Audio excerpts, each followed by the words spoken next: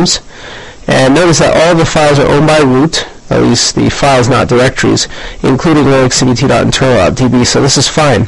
Our zone's defined, and it's owned by root, and when we restart the named instance, we should be able to then perform a query of the forward lookup zone, the primary zone, linuxcbt.internal. Let's kill the server using kill all named. Then a psef grep named will reveal that it's been killed. Then we'll go ahead and execute service named start. And this will cause name to start. And then from a remote system, since we're using views, we'll attempt to query the local system. Let's try it from Linux CBT Serve 1 using dig at 192.168.75.199 for any of the records defined in the zone file for linuxcbt.internal, such as Linux CBT Serve 4 dot the fully qualified domain name path. And there we see the server has responded with the answer for Linux CBT Serve 4 with an address of 199. Let's try looking up another host. And it responds there as well. Let's also insert some generic records that we'll find on internet-facing servers such as www and mail.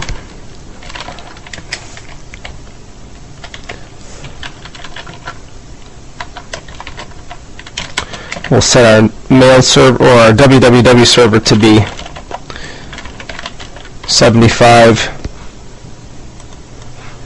75.199 and this is an excellent opportunity to define a CNAME record we could using mail, for example. And point it to Linux CBT serve 4 linuxcbt.internal. So these are more of your traditional record types. Mail, www. Let's also define a CNAME for FTP.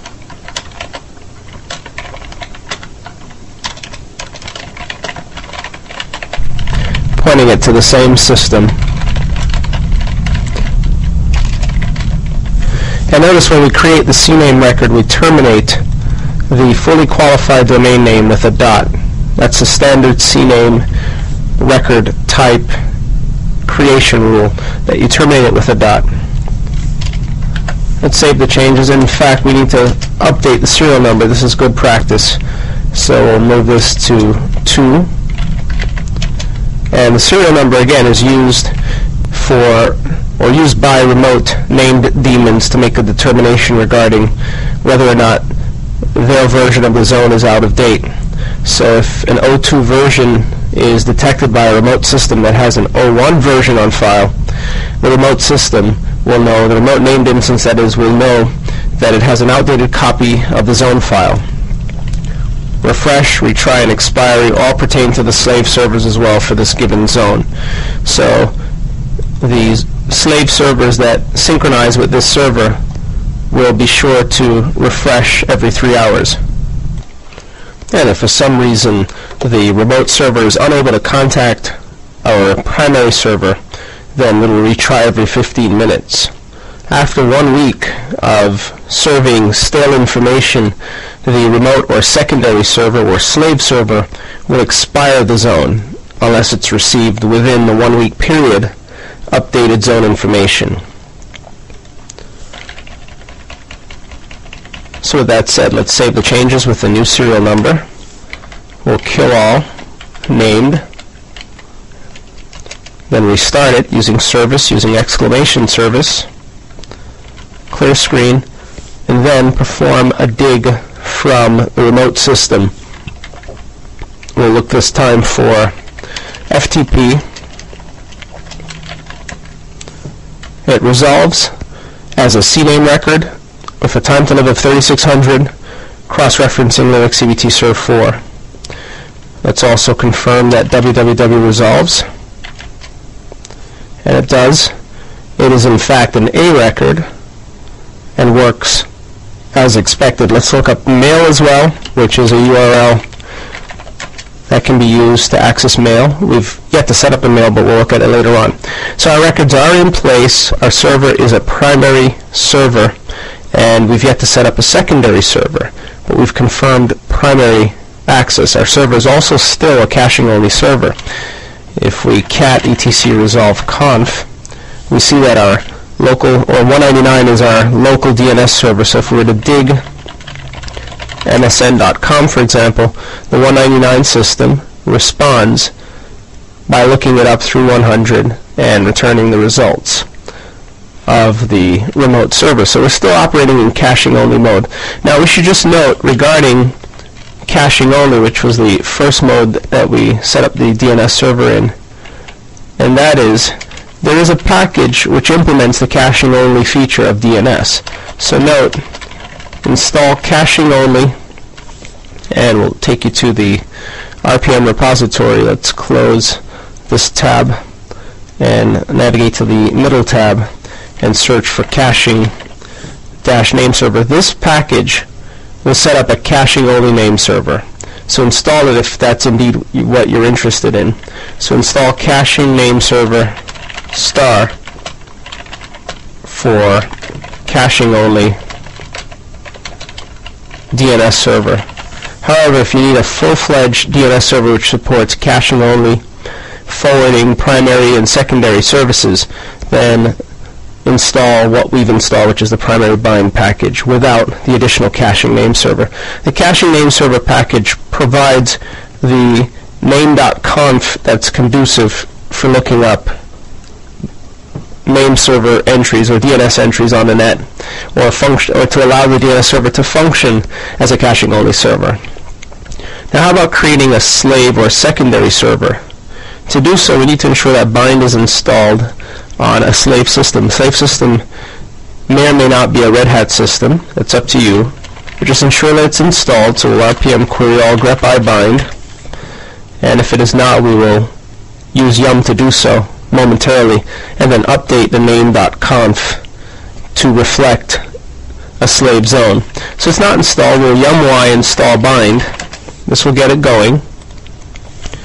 And we'll list the steps. As yum y install bind. And once prepared, we'll set up the zone files as we've done with the views that are auto-configured as we did with the primary server. So we'll copy the files as we did. Let's scroll up and you'll see in our DNS talk that we copied from the user shared doc location all of the items to etc as well as var named. So on the remote system, now that it's installed, let's navigate into user shared doc, bind version,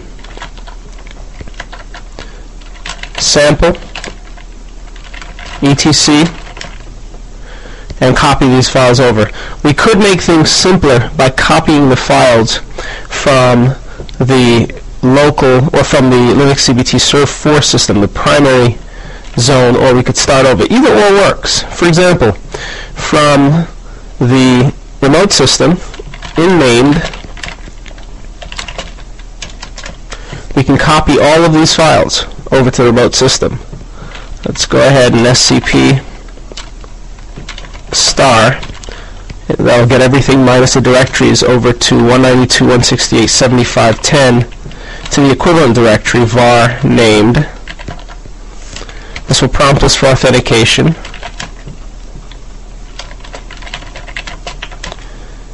And momentarily we'll copy the files over.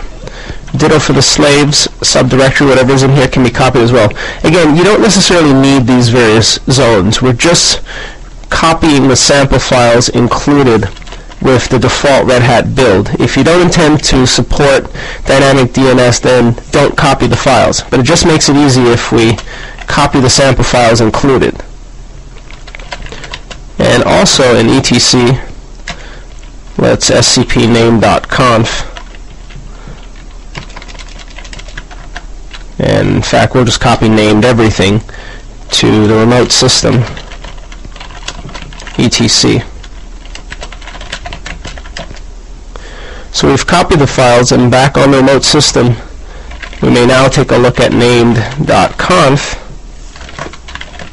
from etc, not from the sample directory.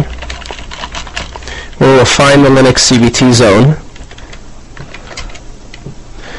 and or Linux CBT.internal zone. We'll change the type to slave, so in our documentation, let's be sure as the next step, copy sample files from primary server to secondary server or from the documentation directory tree. C modify etcname.conf and set the zone to slave. And by doing so, we'll have to indicate the IP address of the master server. So type will now become slave. The file is also the same, so it'll create an identical file locally. But we need the directive masters. Masters allows you to specify the IP address of the master server for this zone.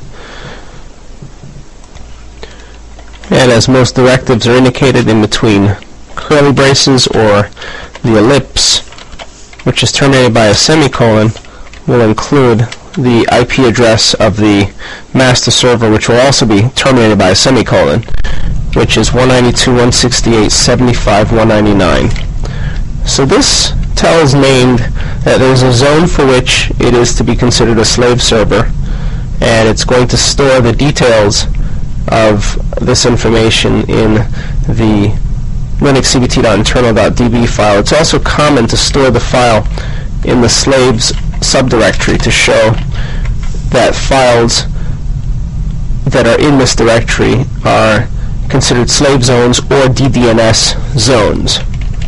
But if you wanted to, you could store your zone files in a different directory, so long as named has the permissions, both with SE Linux and